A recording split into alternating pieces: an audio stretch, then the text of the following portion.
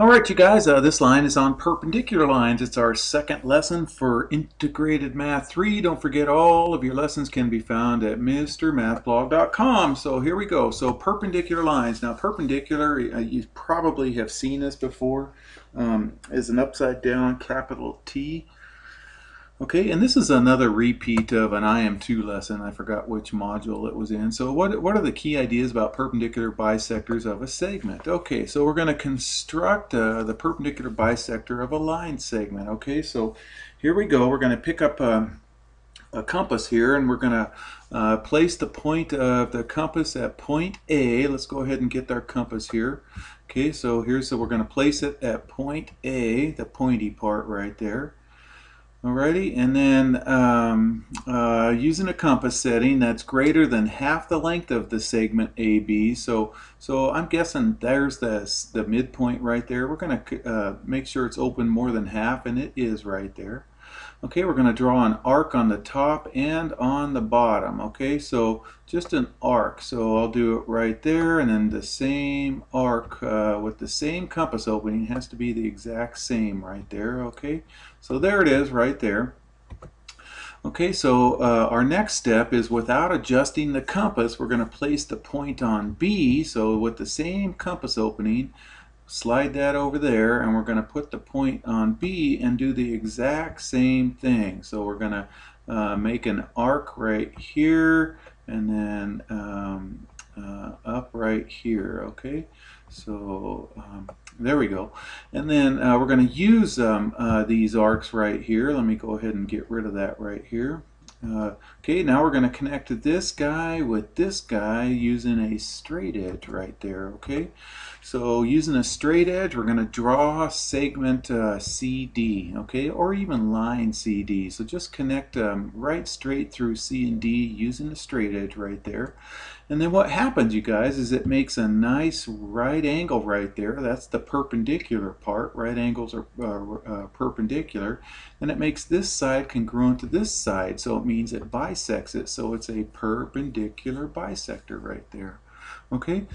All right, so uh, now we're going to construct a line uh, that passes through some point P that is not on line L. Okay, so here's a point P not on this line right here that's perpendicular to this line. Okay, so we're going to need to uh, place the point of the compass on point P. So let me grab the compass again and um, uh, draw an arc that intersects the line uh, at two points okay so it's going to intersect this line at two points let me put that right about there and then we're going to slide it down. Yeah that's pretty good right there. So we're going to uh, arc it through right through there okay?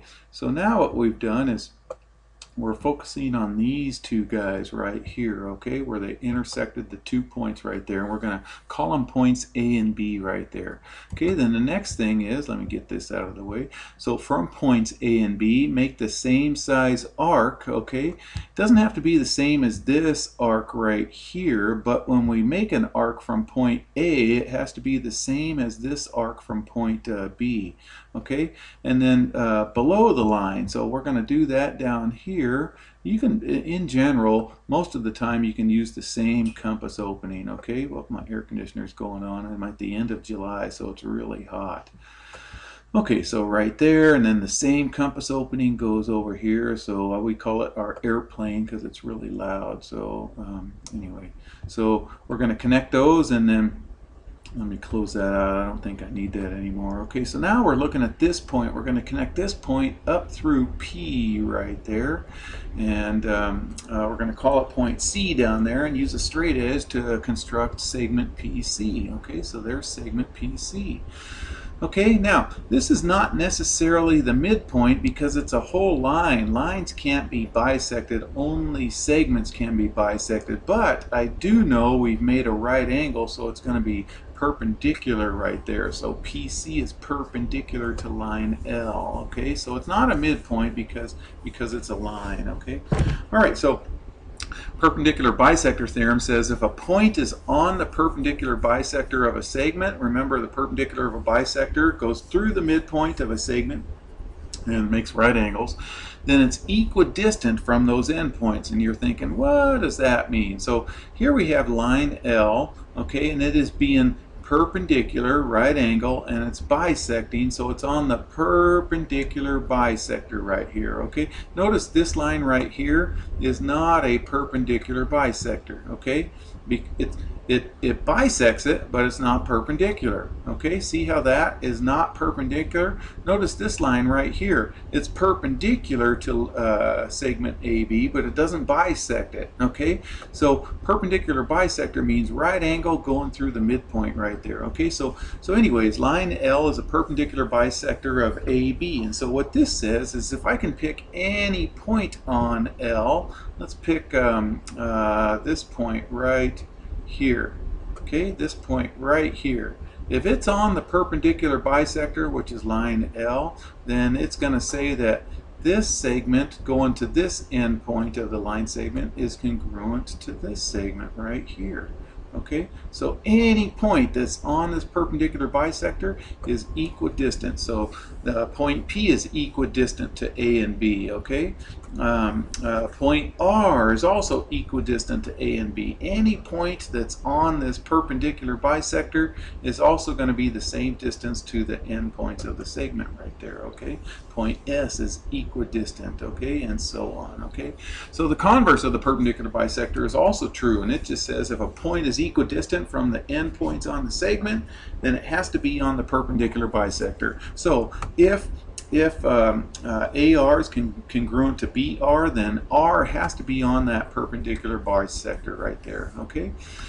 All right, so if two uh, intersecting lines form a linear pair, remember linear pairs means line and the pair means two. So if two intersector lines form a linear pair that are equal to each other, uh, then the lines have to be perpendicular. So if uh, angle 1 is congruent to angle 2, because um, they make a linear pair. These guys make this linear pair. They make line M right there. So if these two angles are congruent, then it has to be, they have to be both 90s right there. So that means that they're perpendicular. Okay, that's what that theorem says.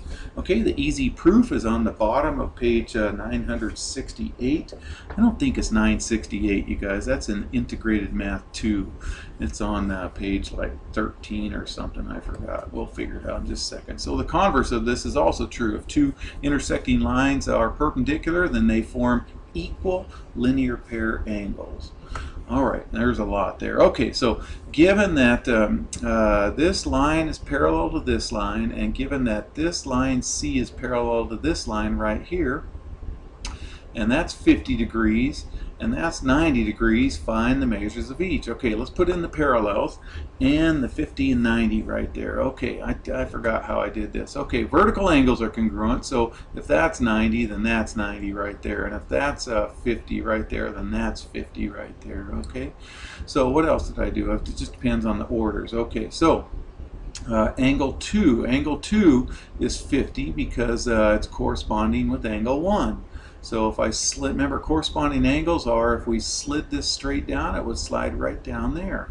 Okay, and uh, 2 and 3 are vertical angles, so that's easy right there. And 7, 7 is a vertical angle with angle 5, so that's easy right there. Okay, and then what else did I do? And then straight lines make 180, so let's focus on this straight line right here, 180. So if that's 50 and that's 90, this has to be 40 right there. And same with 6 right there. So 4 and 6 are both 40s, okay?